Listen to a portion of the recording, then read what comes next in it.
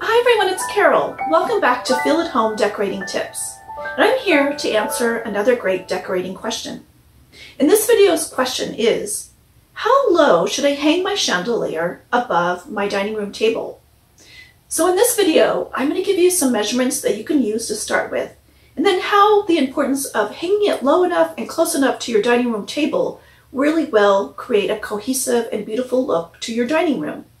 So let's get started.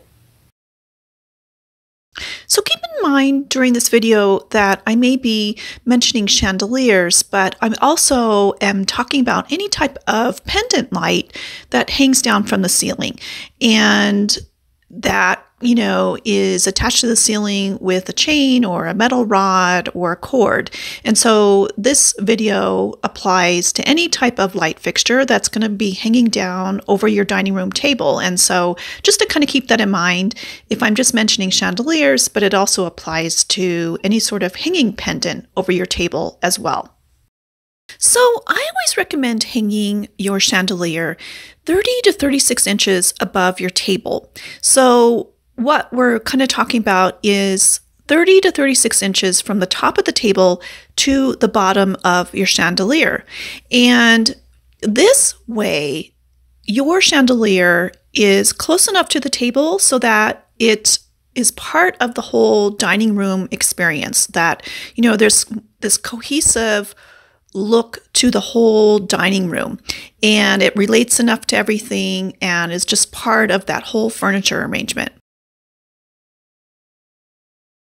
And then leaving that amount, 30 to 36 inches, is plenty of room for you to have flower arrangements or centerpieces on your table. And also, most importantly, we're keeping in mind that people can still see each other. They're not getting blocked by the chandelier and they can't see each other. So there's still plenty of space where, you know, an average person could sit there and have a conversation and see other people easily across the table. So let me give you a couple examples of how that looks when the light fixture is just too far above the table and it's not really creating a cohesive look to the whole dining room experience. So in this example, um, on the left, there's this really cool dining room table. They have a vase of leaves or flowers. And then above that is this really cool light fixture well, there's this disconnect. There's, you know, all this space in between the dining room table and that light fixture. And it's almost like you're looking at two different things. Like you're looking at the light fixture and then you look down at the dining room table.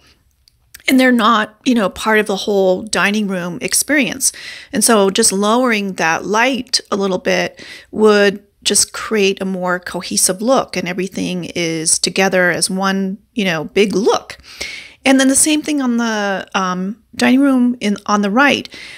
You know, if they would just lower that light fixture, it would just become a part of that dining room table and that whole dining room experience.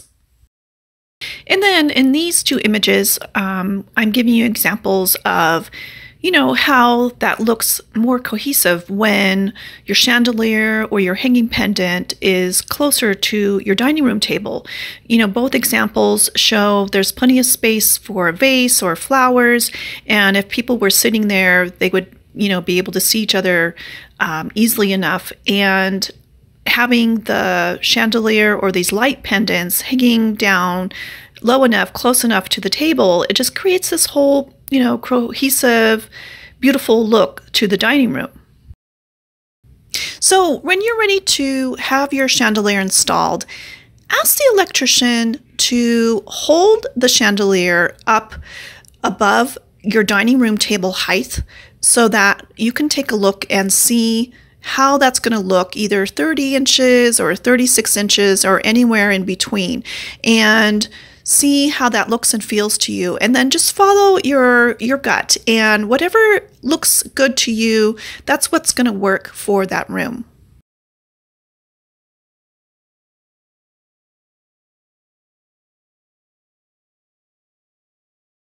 When you hang a chandelier above a dining room table, hang it low enough so it looks and feels connected to the dining room table and the whole dining room look. Do you have any suggestions for future videos? Let me know in the comments.